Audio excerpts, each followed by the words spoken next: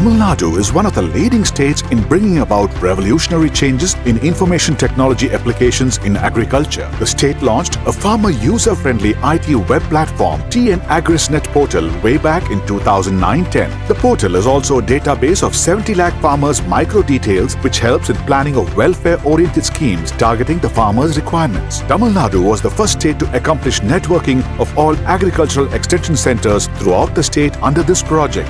This system was conferred with National E-Governance Award for 2010-11. The Department of Agriculture and Farmers Welfare launched a comprehensive input supply management information system in 2015-16 connecting 880 agriculture extension centers across the state to avoid leakages while extending subsidy and to ensure the inputs distributed through the agriculture extension centers reaches the genuine farmers. The state launched a versatile mobile platform, the Uzhavan app, a navigational app in 2018 built with detailed information right from availability of seeds to marketing. This gives end-to-end solutions to make farming profitable by enabling farmers select a crop as per market requirements. Another noteworthy initiative is the introduction of Uzhavar Aluvalar Thodarpu Thittam UATT, a comprehensive system of monitoring field visits of department field officials by geotagging their field visits. Looking forward, the state has contemplated to geo-reference all the crop fields and to map farmer attributes with the geo-referenced land detail. Tamil Mann Valam portal will be developed through which crop suitability will be prescribed based on individual farm-wise soil health status. The revolutionary technology initiatives by the government of Tamil Nadu